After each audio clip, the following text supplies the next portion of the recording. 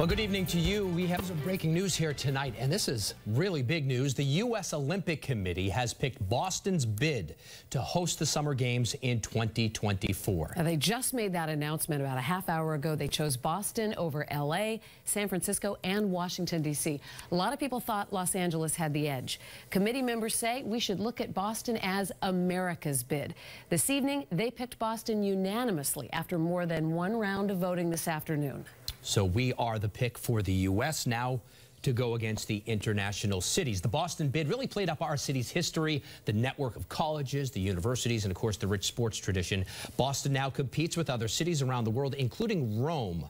In spring of next year, the list of cities across the country and actually across the, uh, the world will be cut down and a final winner will be picked in 2017. And that was Mayor Marty Walsh who made the pitch to the U.S. Olympic Committee, just releasing this statement. The mayor writes, this selection is in recognition of our city's talent, diversity, and global leadership. Our goal is to host an Olympic and Paralympic Games that are innovative, walkable, and hospitable to all. Again, big news. We have a team of reporters getting reaction to this. And to some people, it's surprising news tonight, but certainly it's going to shape what happens in this city for a while. So we're going to have much more on the 10 o'clock news on My TV 38. And of course, right back here on the WBZ News at 11 o'clock. We now